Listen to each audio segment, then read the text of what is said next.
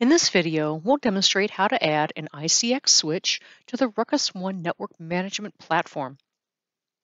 Before adding an ICX switch, you must have already physically connected the switch to a network that's connected to the internet and plugged it into a power source to power it on.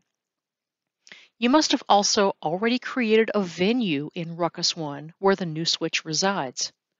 And lastly, you will have needed to obtain the serial number of the switch. Ruckus One makes it easy to quickly add a single new ICX switch. On the dashboard, click the Add button, then navigate the drop-down menu through Device and click Switch. Notice that you're taken from the dashboard to the wired portion of the UI.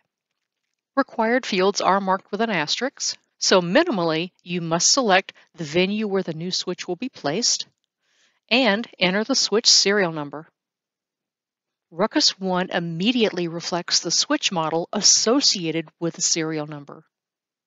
Please pay attention to the minimum firmware requirements that appear and follow the instructions shown on screen.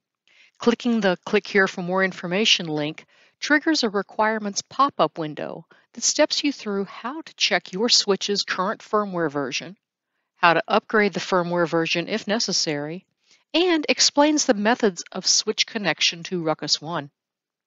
For the purposes of this video, we know that our switch meets the minimum requirements, so we can proceed with our task of adding the switch to Ruckus One.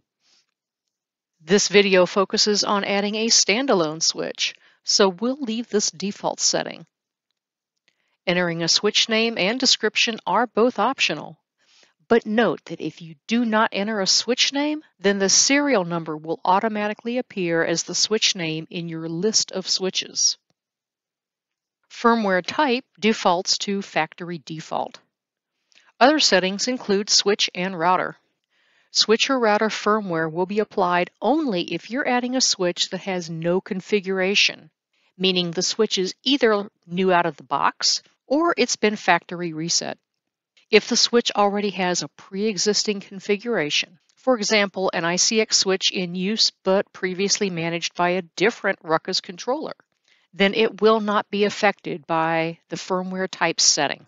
Ruckus One does this to prevent connectivity loss.